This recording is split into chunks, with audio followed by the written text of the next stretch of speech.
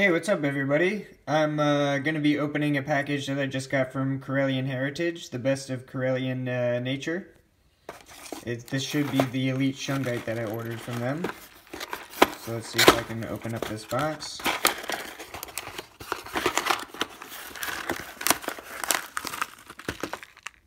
Alright, so this all comes in a small bag. And uh, we'll open it up and look at the contents. Okay, so this isn't all the shungite that I got, but this should be um, probably about one third or maybe like one fourth of what I got. And uh, as you can see, this is Elite Shungite, and it's the raw product. I'm going to be washing it now. Alright, so in order to wash this shungite, I'm going to first put some water into this pot here. That should be enough.